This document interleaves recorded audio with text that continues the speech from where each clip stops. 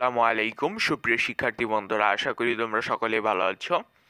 আজকে আলোচনা করব অষ্টম শ্রেণির ইসলাম শিক্ষা বইয়ের প্রথম অধ্যায়ে সাতাইশ পৃষ্ঠায় উল্লেখিত প্রতিফলন ডায়েরি লিখন।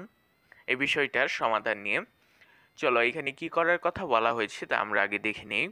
দৈনন্দিন জীবনে শির্ক হতে দূরে থাকার জন্য আমি যেসব ভালো কাজ করব এবং যেসব মন্দ কাজ বর্জন করব উল্লেখিত শিরোনামের আলোকে নির্ধারিত ছকটি শ্রেণীতে পূরণ করবে।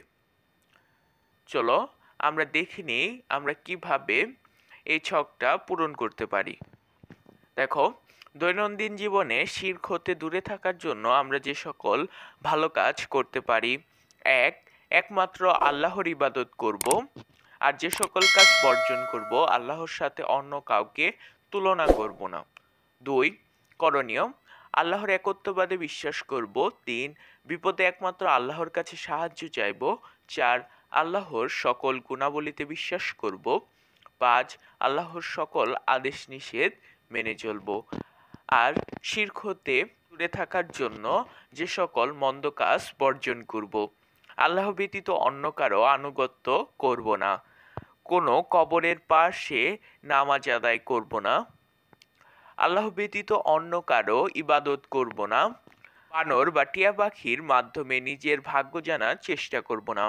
এটাই মূলত ছিল সাতাশ পৃষ্ঠায় উল্লেখিত সেই প্রতিফলন ডায়েরি লিখন এর সমাধান। তোমরা এরকমভাবে একটি ছক তোমাদের খাতায় অঙ্কন করে এই বিষয়টা এরকমভাবে উপস্থাপন করতে পারো। আবার তোমরা নিজের মতো করে উপস্থাপন করতে পারো এই বিষয়টা থেকে, সমাধান থেকে সাহায্য নিয়ে। আজকের ভিডিওটা এই পর্যন্তই ছিল। আশা করি তোমরা ভিডিও থেকে অনেক কিছু জানতে পেরেছ। যদি এরকম আরও ভিডিও দেখতে চাও, তাহলে আমাদের চ্যানেলটিকে সাবস্ক্রাইব করে রাখো। আল্লাহ হাফেজ।